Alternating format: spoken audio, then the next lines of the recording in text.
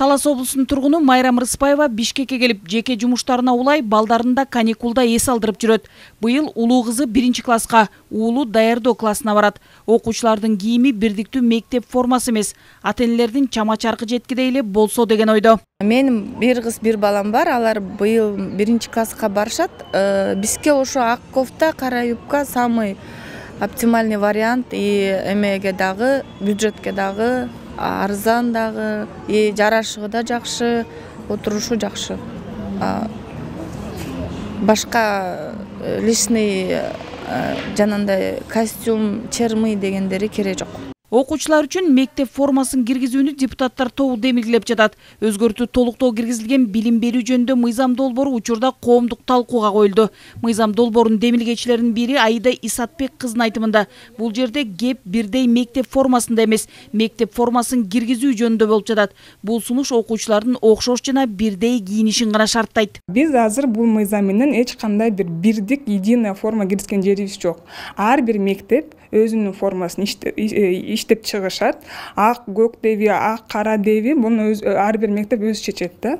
Биз деген болгону ошо балдарыбыз баары тең окшош анан тең кийинсин деген мааниде эле бул мыйзамды киргизип атабыз өз кезегинде билим берүү жана илим министрлиги окуучулар арасындагы социалдык жана башка айырмачылыктарды жоюу максатында эки миң он бешинчи жылы жалпы билим берүү уюмдарында бирдиктүү мектеп формасы боюнча талаптар иштелип чыкканын билдирди.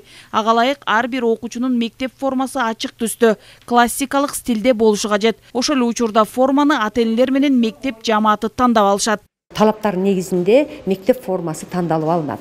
Мисалы үчүн ата энелер э, баягы талаптарга ылайык өздөрү мектептин формасын тандап алышат мисалы үчүн өзгөчө э, гимназияларда лицейлерде э, ошол форма тандап алып жөнөкөй мектептерде деле айыл жерлеринде эле көрсөңүздөр болот.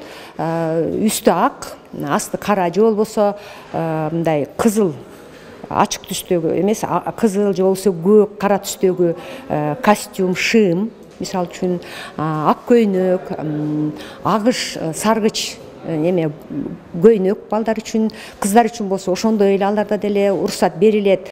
Өлкөдө бирдиктүү мектеп формасына байланыштуу маселе көп жылдан бери талкууланып келет. Азырынча ар бир билим берүү мекемеси мектеп формасын өзүнө жараша тандап алууну шарттаган мыйзам долбоору коомдук талкууга коюлду. Демилгечилердин айтымында мындай тажрыйба дүйнөнүн бир топ өлкөлөрүндө колдонулат.